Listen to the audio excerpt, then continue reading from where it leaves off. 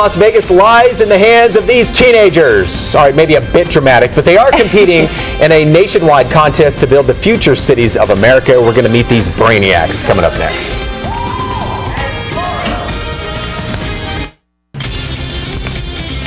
Hey everybody, welcome back. Fox 5 News this morning. It is 544 on your Monday. In studio right now, we have some of the smartest kids in all of the world. Middle school students across the country will face off in Washington, D.C. for the National Future City Competition. Here's what they have to do. Basically, build and design cities of our future. And Las Vegas has a local team to cheer on. Joining me now this morning are two team members, in fact, five team members from Hyde Park Middle, Middle School. Guy Tannenbaum right there and Lyle Carerra. First of all, guy Yeah. who is the son of Nate Tannenbaum. You are missing an essential piece. Where's the bow tie? Oh, I, I, I don't do bow ties personally. I mean, your father goes nowhere without the bow tie. Well, yeah, that's that's him. I'm, I'm different. I, I I know that he may be crying. That's his thing. You do your own thing. yeah, You're I more of a. Yeah, I- and Vans kind of kid. Yeah, yeah. All right, we'll introduce the team for us. Okay, um, this is Louisa. She helped work on the model, and so did Cassidy. This is Cassidy, and this is Eyasu, who's uh, the other presen- uh, presenter. All right, well, let's let's just start with what this competition is all about. You guys have made nationals now, one of 39 teams, so a tremendous honor. Tell us about what the competition is, what you guys are trying to do. Um, so, like you said, um, basically you have you create a city based on a certain theme. The theme is different every year, and uh, this year the topic happens to be energy, and um, you also have to design uh, some different other other different aspects of your um, city, and you basically you combine it into different parts, like an essay, um, a narrative, um, presentation. This sounds really complicated.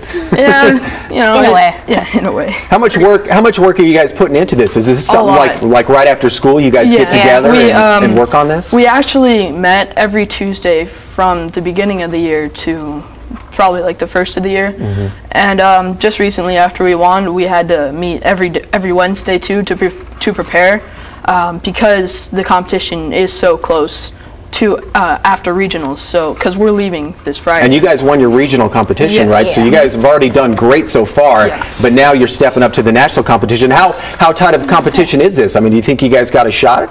Yeah. Um. Yes, I think so. Yeah. I think so. Yeah. Yeah.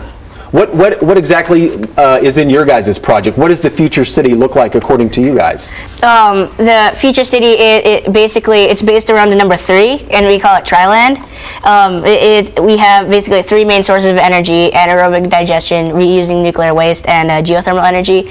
We have um, a huge landmark called the Tri Towers, uh, which basically, as the name implies, it's uh, three towers, and they basically are the headquarters for each city's main services. Um, our main transportation system, um, the Tri-trains, um, excuse me, uh, they- That's okay. they um, basically run on three levels of height um, above ground, um, on the ground, and below ground. Um, we also have two other um, transportation um, ways of transportation gondola lifts and I believe uh, Eco eco cars. cars, yeah. Wow. And that adds up to a total of three once again, so.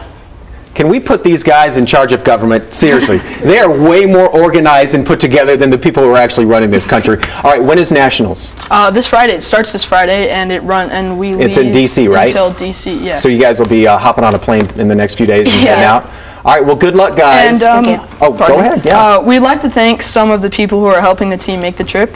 Um, the Clark County School District School Community Partnership Program and the Chefs for Kids program. Thank you guys. Clearly a man of the TV world right here, his father, Nate Tannenbaum. All right, guys, thank you guys so much for Thank- coming no in, and good luck this weekend in Thank the you. Thank you, competition. Thank you you. guys. Now,